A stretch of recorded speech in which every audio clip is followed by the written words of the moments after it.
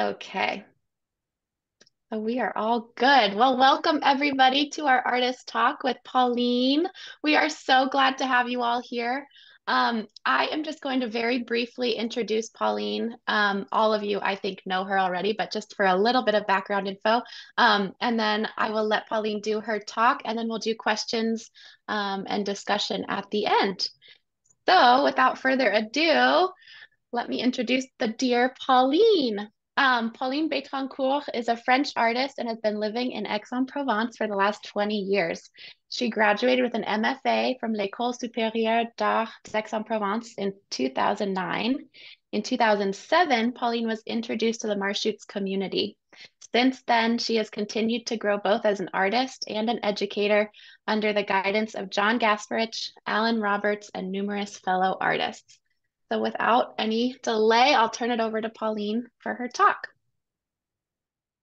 Hello, everyone. Bonjour. So I'm going to share my screen, if that's okay with everyone. Okay. And um, alors, is this working well? Like that? Okay. Yes, looks good. Okay, good. I'm going to, I'm just keeping this window on the side so I can have a, a little bit of a relationship to an audience. So it makes me feel a little more comfortable. Uh, and then I am going to start. Up. Is everything good for everyone? Beautiful. Perfect.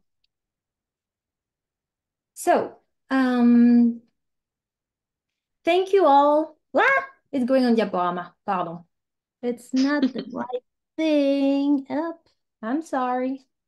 Little technical issue. Up. up nope. Up. Uh, I'm sorry. Let's just go back. You have a little bit of a... Uh, ok. Présentation. Activer le mode plein écran. Alors. That's the right one. I'm sorry. Hop. And of course, it doesn't work. I'm sorry. Alors, no wait. Need to be sorry. Alors, hop, aperçu. Voilà. Escape. Zoom. It's good. It's going to allow more people to come in. Exactly. We have more people joining every minute. So this is great. this is all ah. planned. it is. Alors, partager. Okay. And now I'm going to go to présentation. Activer le mode plein écran. Okay. Good. Thank you all for being here and thank you to the Leo Marchutz School of Painting and Drawing for inviting me to be the artist of the month of March. I was very lucky in 2007 when as an art student, I found this community of artists. I am very grateful for John Gasparich and Alan Roberts, my mentors and my friends, as well as all the artists and supporters of the school dear to my heart. Everything I learned and explored is the result of direct experiences. There is no separation between the, between the theory and the practice, as Leo Marchutz would say himself.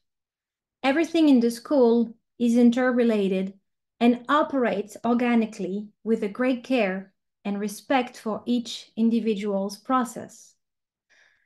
The fundamental principles formulated by Leo Marchutz, carried on and protected by his students, are radical in their way to, recon to reconnect someone with their environment, their senses, and to develop their imagination and capacity to see into anything with greater depth, complexity, and humility. I was amused when I first heard John Gasparich quote Yogi Berra's truism The more you look, the more you see. It is very true. Developing my vision and my capacity to see more into the visible world radically changed my practice and continues to do so. Now, what does that mean? After graduating from l'École supérieure d'art d'Aix-en-Provence, I felt that my figurative practice of painting and drawing needed a few more fondations, foundations, such as a stronger sense of reality. I used to create world of images and turn my eyes inward. I worked a lot from imagination and photographic documents but something was missing. Looking outward. I needed to nurture my imagination by working directly from nature and great works of art.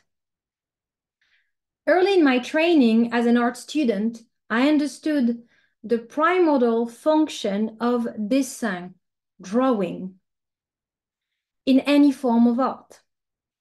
In French, dessin, drawing, used also to be spelled like this dessin destiny, and it shared a communality of meaning.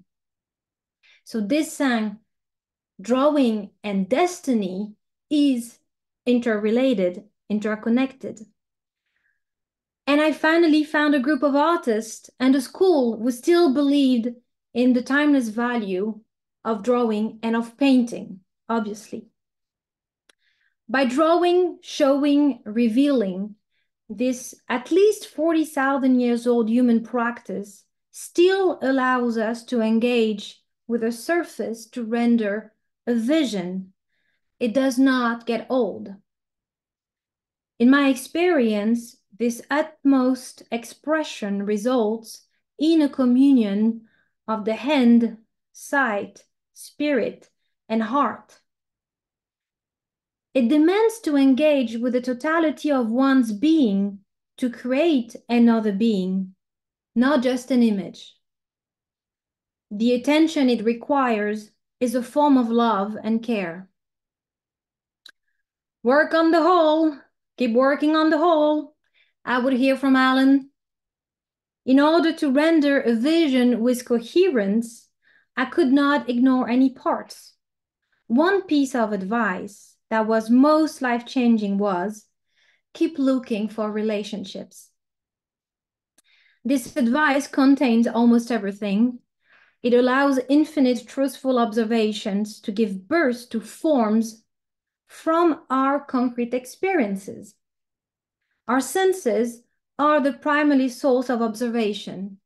It requires a close attention to what is present to notice values, colors, contrast, similarities, patterns, characters, bringing the whole vision together and creating meaning by selecting what is essential to the work. Looking for relationships allows each artist to pursue what is so particular to their own vision. What I mean by that is how the interior landscape and the exterior landscape form each other. I'm quoting Barry Lopez. This connection is actually what a French neurologist, Lionel Naccache, calls le cinéma intérieur. In brief, there is a constant back and forth between how we see things and how we conceive them. A visual meditation is an experience and meaning is revealed through looking. We use our eyes every day to navigate our world. But when do we use them to look deeply into the phenomenons of life? To stop and appreciate the beauty, the character, and mystery of what is not us. This close attention to the visible world and art increases one's sensibility. I noticed that pursuing wholeness, unity, and relationships in my own practice has a profound effect on my life in general. I acknowledge a lot more how I react to the world. It creates experiences where my subjectivity is constantly in dialogue with what is other, what is different from me. Yet, there is a communality, and it is rendered in my work when I do not fail. The virtue of such dialogue between me and my motifs is to de-center my attention for myself and to open a channel and welcome simultaneously another presence, which has a lot to show and teach me. My best work is rendered through that silent dialogue. It needs space. This is maybe why atmosphere, volume, and depth are a necessity in art to allow space for that conversation. I do not use words, but colors, values, strokes. Vision precedes words, and je ne sais ce que je vois qu'en travaillant. I only know what I see as I work, as Giacometti said. To better talk about my work, I would like to show you a selection. I will share different step of my process and we can start a conversation. I will use a few photographs of my motif to give you a context, but you may quickly notice that the photographic vision is very different and it cannot replace what the human eye and imagination can create. how possible it is that, uh, sorry, oh gosh. Well, sorry. It is difficult to describe with words what happens, and I don't mean to be obscure on purpose. But the way a piece comes to life, or fails to, is more related to a visual necessity. What moves me in the first place is literally the definition of a motif. The motif is what causes the movement of my hand and of my whole being. The origin of the motif resides in the configuration that I see. Fellow artists have described me as fencing when I work. My whole body is engaged. It is a very strange dance. The sensibility and character of each, of each stroke needs to be felt entirely. Listening to music is really important to me during these sessions because I use the rhythm and tempo as pulsations and I follow the climaxes. The expansion of music helps me gather the masses and to create the light with vibration and solidity. I discover a group of trees gathered in fellowship. Through their masses and luminosity, each one is revealed as an individual. In their expansion in space, I see a choreography, an imprint of movements evocative of our own. I draw the shadows and sculpt the light with percussive strokes to embody the energy of their relationships. The trees are grounded in the earth, reaching outward, relatively immobile. Immobile. And pursuing the movement of their growth, fusing their bodies with the density of, of the air. Through the abstraction, the drawing evokes for me countless movement of life forms the waiting, loving and gathering, battles. Nymphéa et feuilles mortes, Giverny. I saw on the pond a perfect coexistence of a life cycle. In their curves, the dead red leaves have their last moment of vibrance and resistance. They are passing while water lilies are blooming. The relationships between strokes, describing curves, arches, vertical blooms, and horizontal rest, articulate this constant cycle on the surface of water. A mesmerizing mirror and a passage to another world.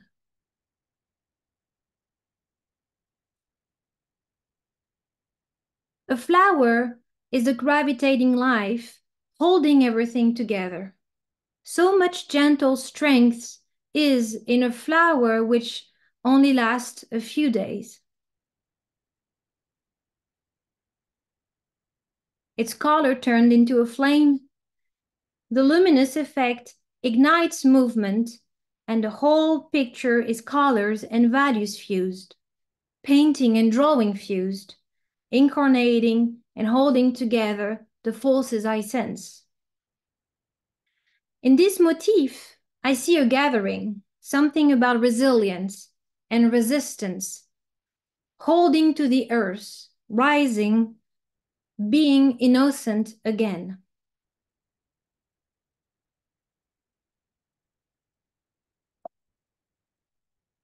Why does it do that? Saint-Mandrier-sur-Mer. Painting the sun setting, looking in its direction, has been a recurrent motif for me. It is challenging as it is a brightest light source and I can't look at it directly. But I capture glimpses in my peripheral vision. The kind of this kind of motif requires a furtive gaze, quick perceptions, and my memory is a lot more engaged.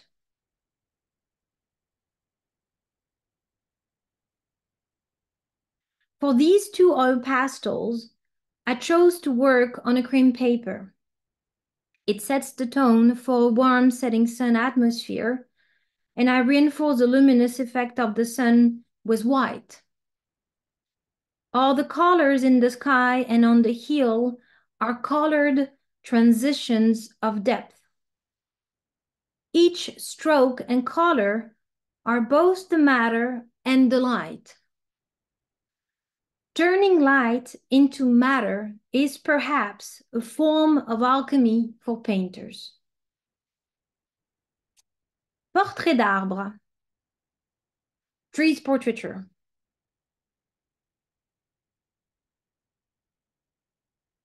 I'm interested in visual phenomenons of emergence, expansion, and grounding. Trees are perfect subjects. I pursue their inner volume and density of branches, and I imagine the tree's interiority.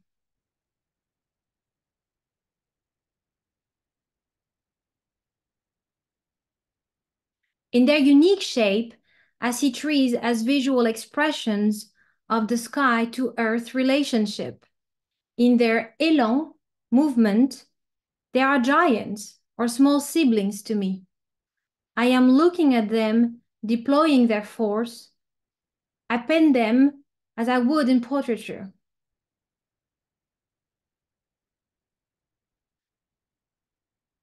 With oil pastels, my gesture and mark making is similar to China marker or charcoal. It is different from painting with oil and brushes as I use pre-mixed batons of colors. I need to combine them to create color harmony by adding layers, fading with thinner, directly on the surface to always break my colors and preserve volume. The spontaneity of mark making is fundamental as it conveys a more direct relationship with my subject. I am looking for rendering a whole being, a presence, and an intimacy. Thus, it can only be done with spontaneous and genuine touch. I will adapt this quote from Martin Buber in I and Thou to the first person. I am faced by a form which desires to be made through me into a work. This form is no offspring of my soul, but is an appearance which steps up to it and demands of it the effective power. Aix-en-Provence Cathedral and Mountain. The central point that I choose to fix my gaze on is the anchor of my motif. It is not necessarily in the exact center. From it, an ordonnance and a choreography are created in my field of vision. The emergence or recession of masses, some lines of forces appear and become essential. In my peripheral vision, elements find their place. I'm sorry if you hear uh, children screaming in the corridor. This sentence by Yves Bonnefoy resonates to me. Does the painter assemble? To the contrary, he learns not to disassemble. Rocks and mountains are also a motif. Compared to us, the mountain is like eternity, looking back in our direction, some fold in time to traverse. Lac d'Annecy, roc de Chère, steam and fog. In Annecy near the Alps, I was attracted by the play of light between elements and the quiet giant surrounding the lake. The Roc de Chère, which is this part, this rock, is a very odd cut, covered by a dark green forest. Around sunset, the light hits the rock and creates a mesmerizing relationship with water. The vertical cliff stands across the lake facing me as a gate.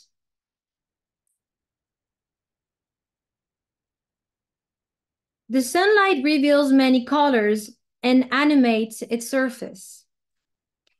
I use this term with the original Latin meaning of the verb animare, meaning to give life to.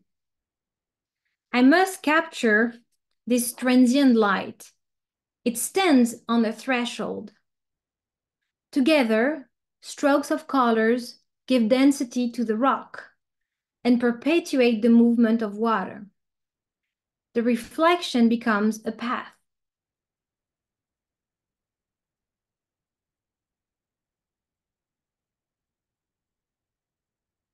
I am also fascinated by extremely ephemeral motifs such as the mist coming off the lake right in front of me. You can imagine my difficulty and how quickly I needed to render this phenomenon. I was moved by the delicate vapor ascending like smoke, filtering the light of a new sun under the sleeping dark water. The columns of mist were dancing in a round.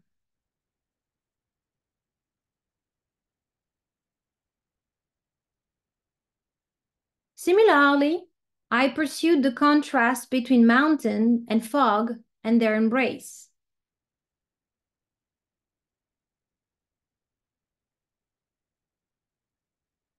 Fog and mist are effective agents of unity, and they deepen a sense of mystery by quieting down contrast, fusing matter with water and light.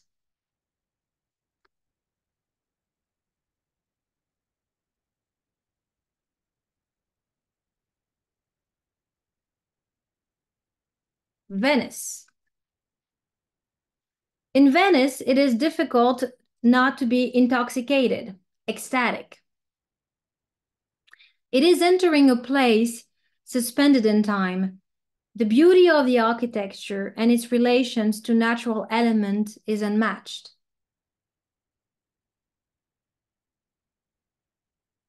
In my drawing, I pursue the character of buildings and churches They are massive, and one can feel the uncanny power contained within the walls. A spirituality with an immense beauty, mixed with a somber character particular to Venice history. The beautiful is often bizarre, Baudelaire said.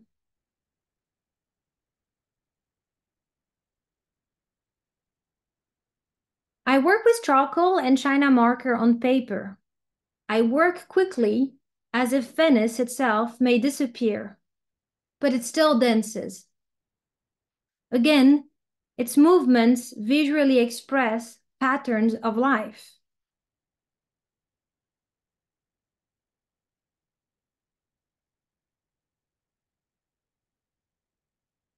Bridges, distances, longing, coming together, all in an encompassing light.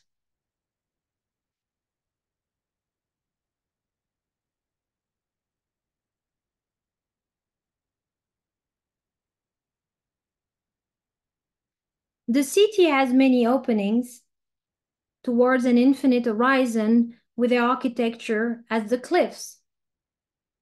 Proust wrote, the buildings arranged along either bank of the canal made one think of objects of nature, but of nature which seemed to have created its work with a human imagination. I am particularly interested in pursuing that relationship described by Proust. I perceive Venice as one possible uh, expression of human reconciliation with nature through art.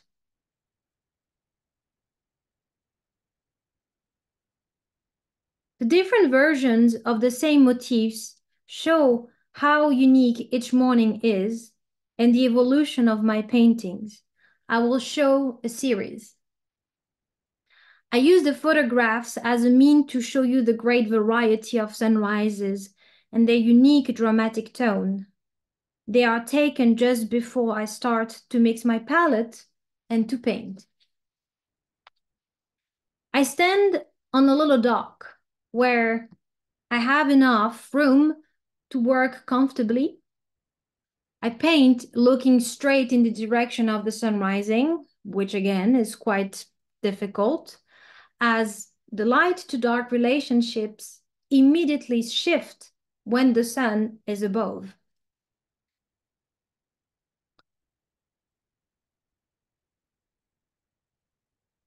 San Giorgio stands at the right distance from me, so I can envelop it with sky and water. I am fascinated by the balance between the vertical campanile, the tower, of San Giorgio and the series of humble elongated building on its right. I see in this configuration another grouping of characters.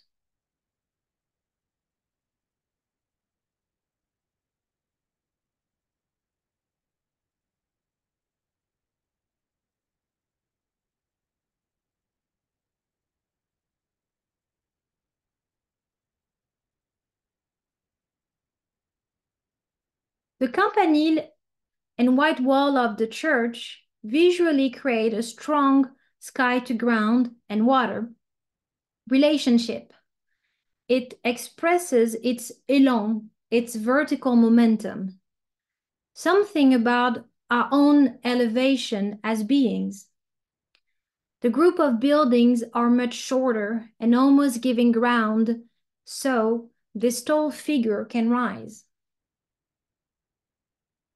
The light, dramatic or quiet during sunrise or sunset, embraces everything with a poignant superposition of layers of time.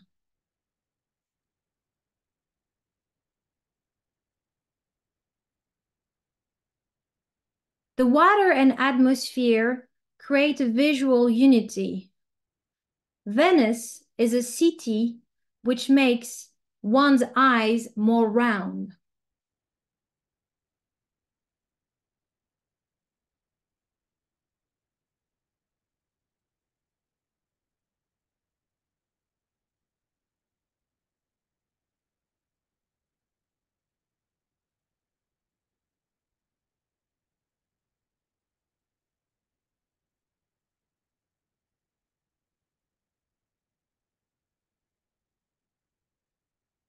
The cyclical movement of the days, the rolling water, my repeated visit throughout the years enable me to experience strongly what Van Gogh described as ce qui ne passe pas dans ce qui passe, what does not pass in what is passing.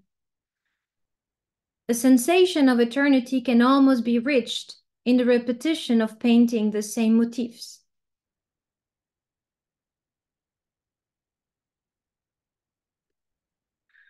I am convinced that there is still so much mystery between us and the world.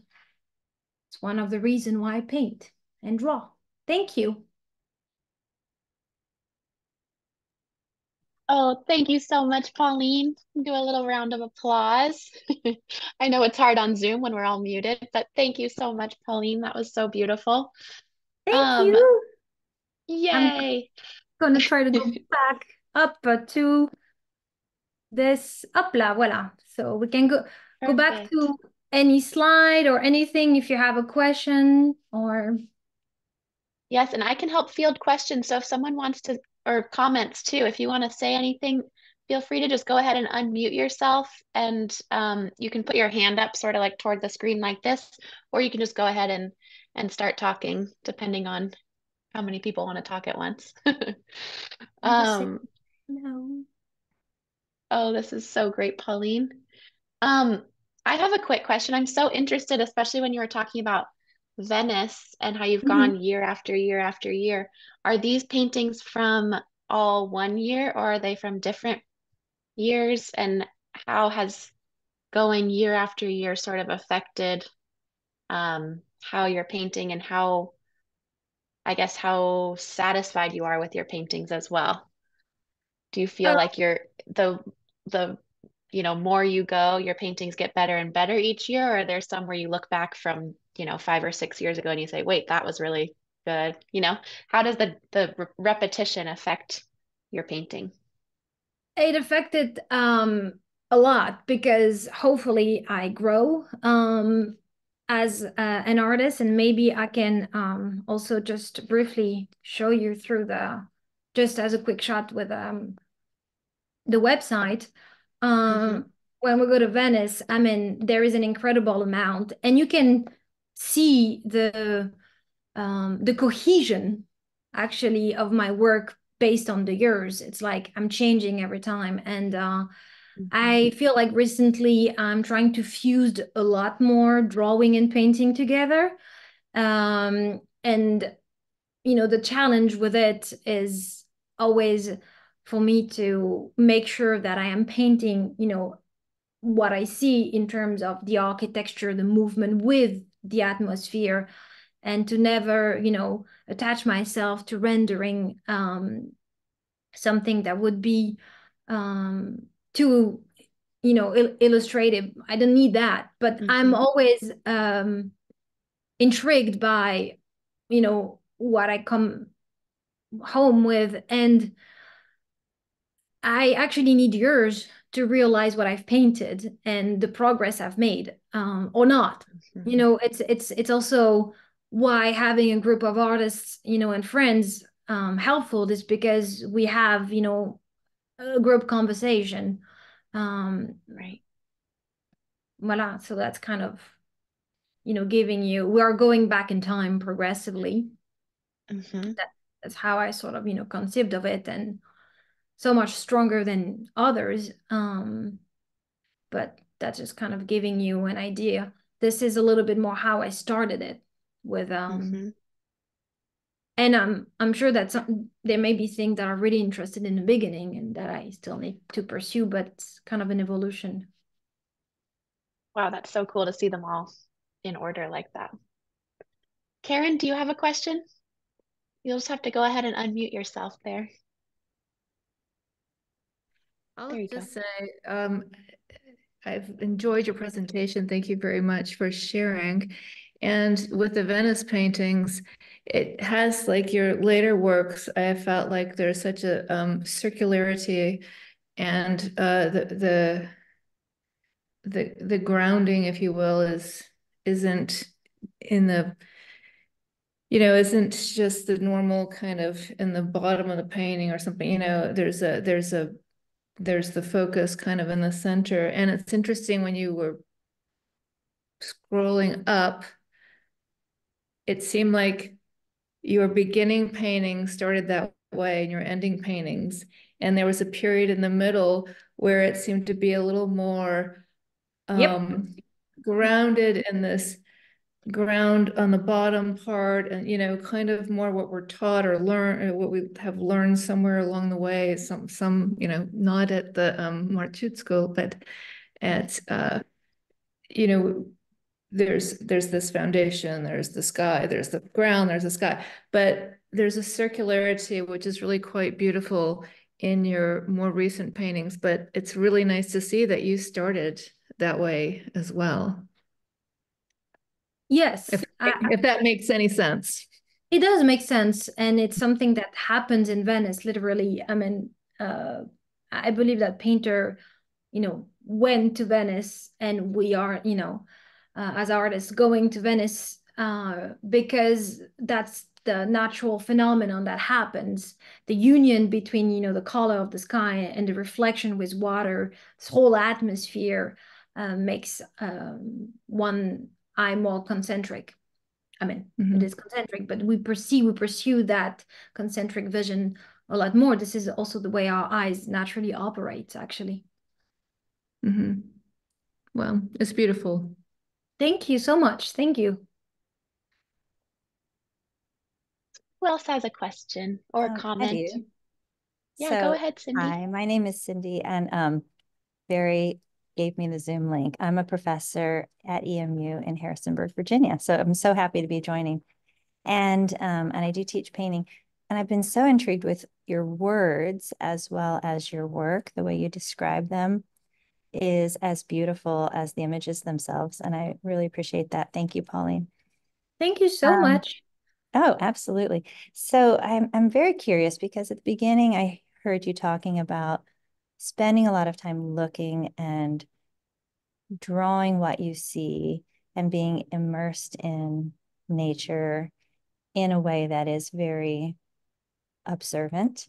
And then I notice in your work you're talking uh, and, and incorporating that what you see is influencing who you are and how you then use the rhythms and and all the logic of nature and create a piece that is so so intuitive um so how hmm, how do you how do you do that no, I don't know what the question is exactly.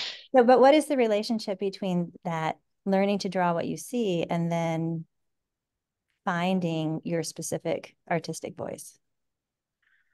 Well, that is an excellent question. And, you know, there is no formula or recipe in terms of that. And by that, I refer also to Cezanne, um, you know, whose um, incredible development as an artist came to his contact with great works of art, but mostly also nature. And uh, I would say that looking into nature and its great variety and what you know Leo Marchutz was teaching his student, what the school is teaching, is to open up to the possibility that there is a little bit more than maybe our preconceived ideas.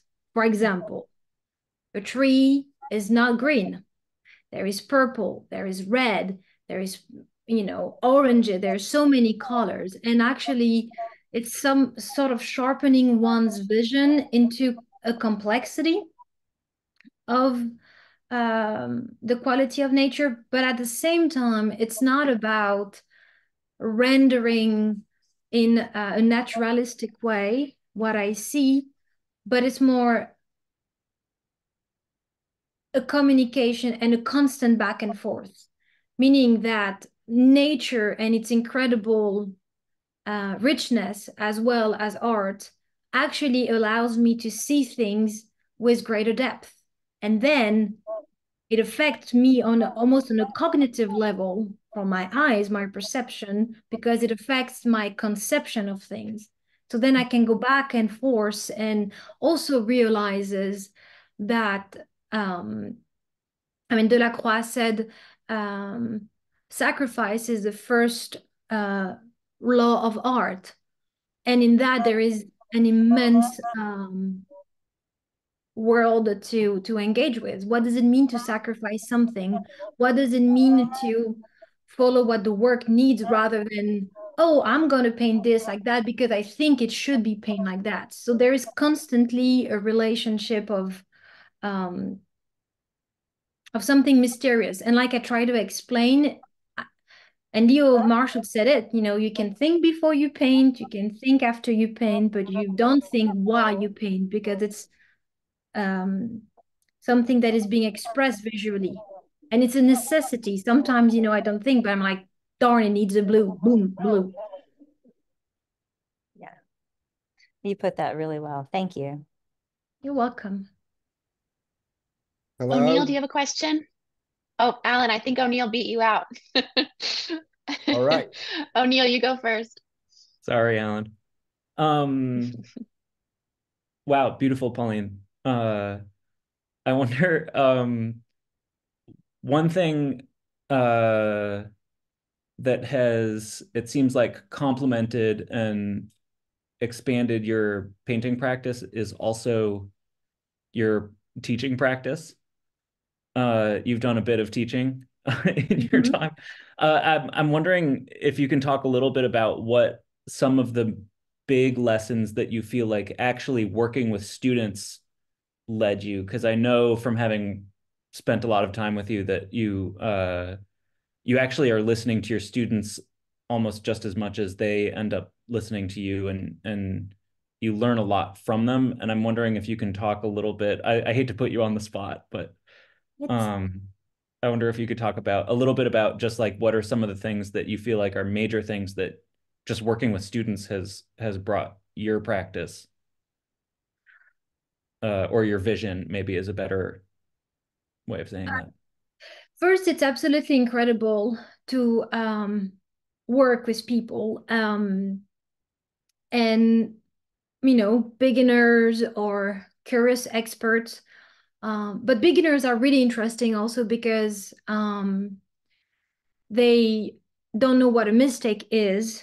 Um, so they make mistake, as you would say um, yourself, And so sometimes um, beginner students are they are trying to understand what they actually see and also to make it manifest on the surface really allows me to be a distance observer of um, the development of the creation of volume and depth and light. It's really something um, incredible to witness. The time when a student start to be like, ah, I'm working on the whole of my surface, and there's a luminous effect that is, you know, coming from the the inside out, and that of the painting. Um, it's very much learning how to not impose oneself and how to guide. And as you know, Marchutz said also himself, himself, it's it's never telling students or people how to do things, but pointing out maybe when it doesn't work and trying to talk about that. So um, during my interaction uh, with my students, I tend to see their growth and their deepening of their vision. And I am extremely lucky of witnessing when they bring something to life on their own surface. And it's like, oh my God, this person has to stop. It's incredible. So it's an extremely um, um, it's an extreme privilege to be able to to witness that that growth. Um, if if I am answering or starting to answer your question, O'Neill, I can continue, but.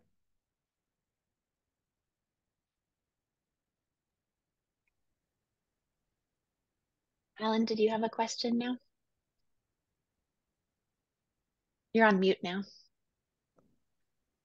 There you go. So, Pauline, Am I on? Yes. Can you hear me? Yeah. Yes. That image there, because you were talking, you talked a lot about the complexity of nature. Mhm. One thing I find interesting in, say, this image that's just in front of us here, when you go back and compare it to the earlier, very first paintings that you did in Venice, um, one thing that I see in this, if I just take in the strokes, for example, the strokes of color, Mhm. and I strokes of color, uh, no, you can take that away. I just want to look at the painting that's up there. Yeah. The the one, the big one there. It's very, I would use the word complex in terms of how the strokes of color are on the surface. But then there's a relief, I find, in terms of the white of the surface that seems to imply simplicity. I don't know if that makes sense, but the major masses that are are, are white surface seem uh, there's a certain simplicity in the way they operate and the way that you've created them through the complexity of the color of the strokes. And I'm just wondering if that, uh, you know, the subject is, you know, the white of the surface and how you're using that. But that's one thing I find really beautiful in your work that the the strokes are very complex. If you go through, there's a lot of complexity in all of the different ways that you're using the strokes.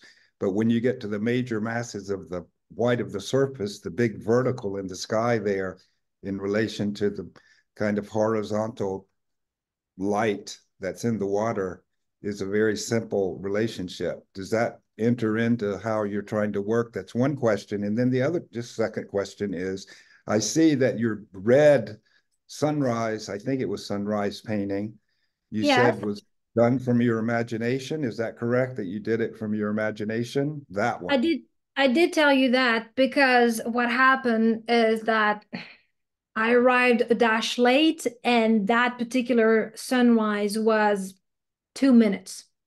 And then the color faded away and I was upset. So I was like, I will do you anyway by memory. So Okay. I, yeah, this one is from memory. That would be a whole conversation that we could have about how your memory painting, your imagine how your imag your memory painting relates to how you are um, operating when you're looking directly at nature. Because there's something really powerful in this imagination painting, I think, which has a relationship to how you work in front of nature. But anyway, that's my two questions. No, I think this is great, um, Alan, that you pointed out this in particular because it has to do with sacrifices. And, you know, how with my memory, I am seized by something. That's what I was trying to express in terms of when I talk about my motif, I'm first seized by an imprint of, um, you know, forms and a movement and, you know, forces, something that is, you know, profound in terms of how things are but actually it's pretty simple it's simple once it go through the filter of um, getting to the essential. When i when i look at a motif and i am touched by it very quickly it means that i see something that continue to reveal itself and to reveal itself the more i look.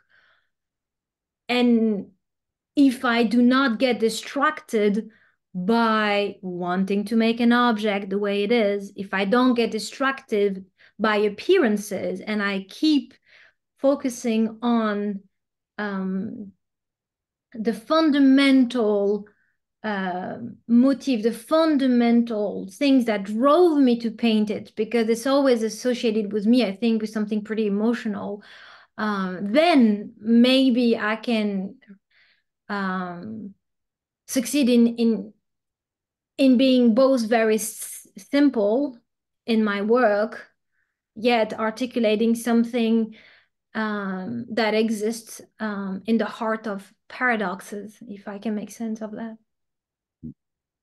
So, for instance, in this painting, you've got the water, the light. The light in the water is the white surface, yes? Yes. And then up in the sky, you've got that big, you've got several lights up above, but you've got a big circle of light. Would you say that when you started this painting, you knew that you were going to use the surface, the white surface of the canvas? Or did you get to this point in your painting and say, oh, I'm not going to paint in anything where that white light is because it's work. You see what I mean? Was it a when you when you started? Did you know you were going to use the light of the surface like that, or did it just at the end you saw it and said, "Oh, I'm going to stop now"? No, I start with it now. That's one of the big lesson. I feel like I I'm like okay, if I want to make something extremely luminous, it means that white of the surface is the brightest element. It's the brightest part, and I need to preserve it. And that's where the union between drawing and painting comes together. And this sort of primordial light is really important to not um, to not kill. So uh, from the start, I I mean I don't know where I started with this. Uh, I, I can't remember, but I knew that there was an intensity. But then, of course, there's the white of the surface but it is brought up to life by the other colors. So that's always something that I'm, you know, extremely intrigued with is the way, you know, the, the slide here is certainly very light also because there's a great dark next to it. And even this corner right here is really interesting, these elements and how some of these strokes are really holding the world together. There's a few like this also is it's not something that I um that I think as I'm painting because I'm not using words, but it's something that must be there. And if I fail to do that, then I've, you know, my painting is not as good. Thank you. You're welcome. Who else has a question or a comment for Pauline? It's so nice to see so many familiar faces and names on here. This is so fun, like a little reunion. I know. Hello, everyone. Good to see everyone. Any other questions or comments? Hi, um, I just wanted to say, um, Pauline, I loved meeting you at the Philadelphia um, art talks, and it's been so wonderful to see your work. It's fantastic. So thank you so much. Thank you. Thank you, Rachel. Thank you. Beautiful. Well, we are reaching the end of the hour, so this might just be a good place to um to sign off. Unless anyone has last comments or questions, you Wait. can go ahead and shout Karen it out. had a John. question there. Oh, Karen, did you oh, have Oh, I can question? ask her questions whenever I want. Um, you have that privilege. well, I um you also mentioned somewhere and again, it's beautiful work. Thank you for sharing. And I'm and I'm glad to be a part of uh you know, this is my first time uh in this um group, so I'm so happy to be here. But I you mentioned the music. Your the music helps and you know, and I find that true sometimes um, with me too. But uh, so, could you say a little more about that? Like, um, is there a specific kind of music that you prefer? Does it change depending on the mood, or how how, how does that work for you? The the music. Um, it changes a lot, um, and it can be very beautiful. Um, pieces of classical music. Um, Gorecki is a composer that really, really moves me, or the, the Prokofiev, uh, the Romeo and Juliet. But I also paint on Daft Punk a live concert 1997, I think, and or um, in a very curious way also, I did this painting listening to MF Doom.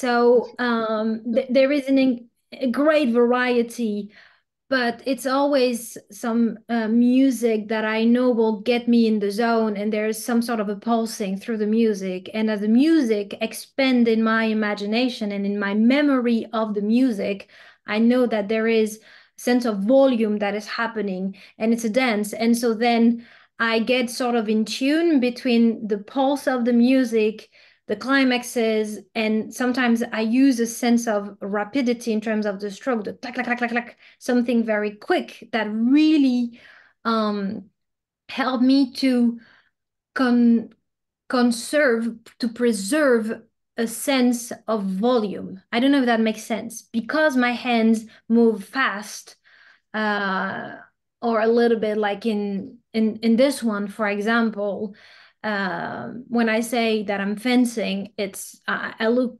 absolutely silly, um, but it's part of the process. It means that there is something that is starting, you know, to be in a rhythm in my hand, and pam, pam, pam, pam, pam. I just it's it follows a natural movement. It's really strange, but I cannot not do it. It's um, it allows me also to not be in my head, but to be in the rhythm with things. Mm, that makes Does that sense. make sense? Yeah, it makes sense to me. yeah, and I I like the thought of the volume too, the music, the volume, the volume of the painting, the volume of the strokes. You know, it's interesting because music is an abstract form and painting, you know, in this realm is a little bit, well, it's intuitive, which is kind of abstract, you know, even if it's related to nature. Um, so it, it, it, I, I think it's beautiful. Yes. Thank you. Yes, the the form of abstraction that I think arise in my work, and at least I hope, are abstraction full of sensations.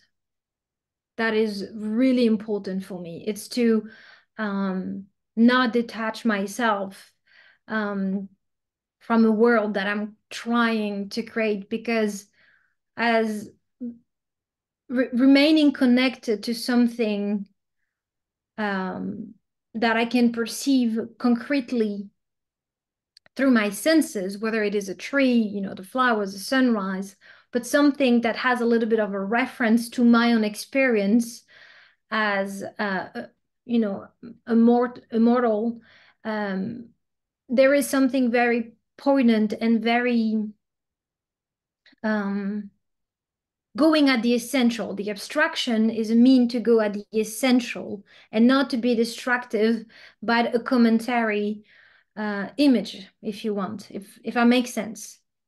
But it does not mean that this is not a tree, it's just a vibration the, the really the energy, the life forces that I see arising or that I see fading. And uh, I tell myself a lot of stories, you know, when I paint. It's just, um, but it's it's it, it's there. Johanna, do you have a question? Um, not so much a question. Uh, I just, I'm really, I love, I love seeing this. I I jumped on the call late uh, and I'm so sad that I had to be late, but um, but I'm always just continually impressed with how well, um, how well, Pauline, you are able to express and articulate your relationship with yourself, your relationship with your art, and your art's relationship with the environment, as well as the time that that all took place and the matrix of all of those things combined. Um, and I think it really shows through in your art, and it's always the thing that's blown me away. There, that's that's that I that I love the most. Um, I just I I wanted to say that I I thought that what I caught of this presentation really showcased that, and it's it's a and it really um it's just wonderful. So thank you for letting me, you know, jump in and see your work. Thank you so much, Joe. Thank you. It's it's an honor. Thank you.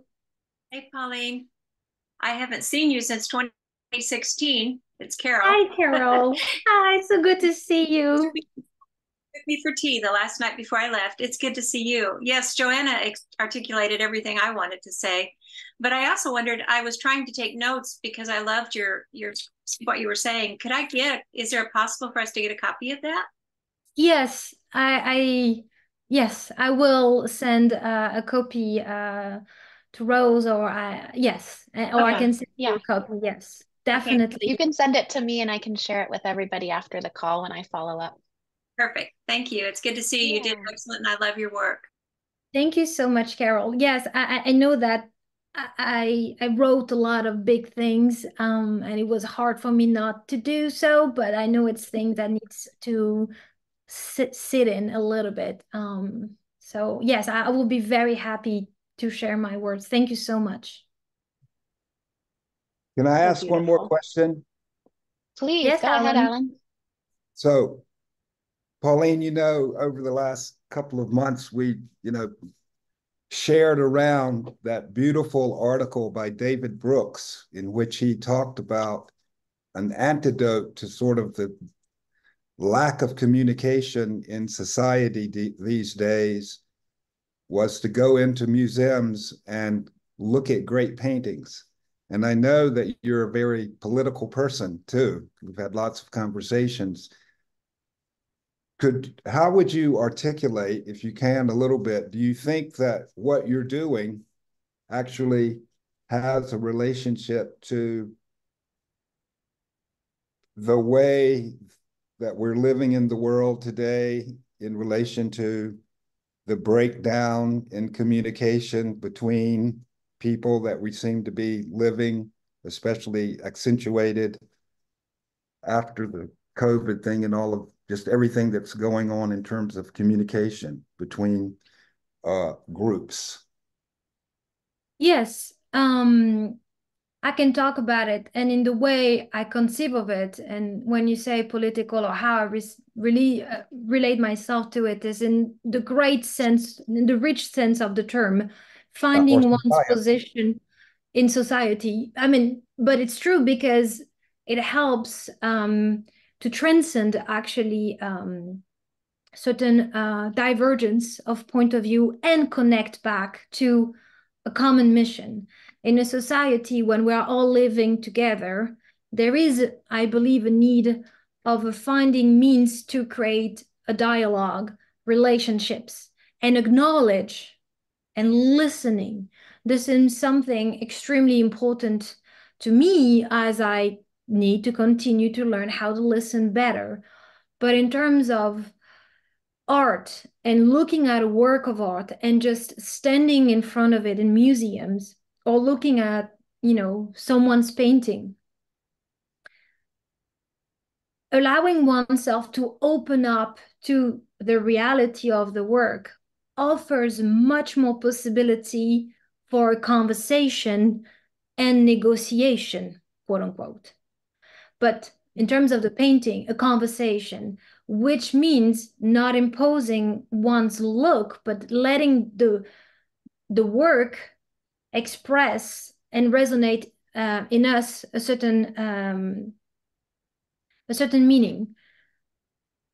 I would say that pursuing this kind of um, genuine relationship and trying not to impose, but trying to understand what something is maybe trying to say is a healthier way to preserve the connection amongst our communities at large.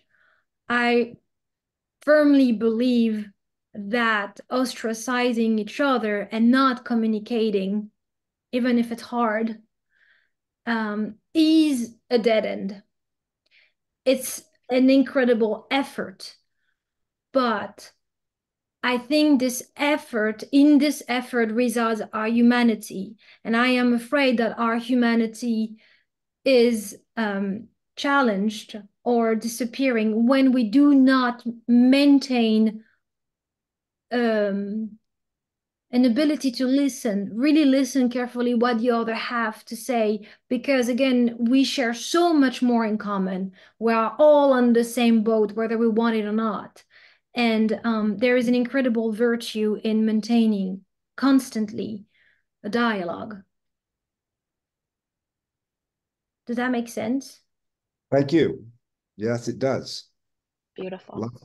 I, I just want to add, Pauline, it makes great sense. And there's so much wisdom in that as we talk about our, our interaction with each other and the way that art can actually enhance that interaction and that resonance. So thank you for that. I want to talk to you more about that this summer. With pleasure, with great pleasure.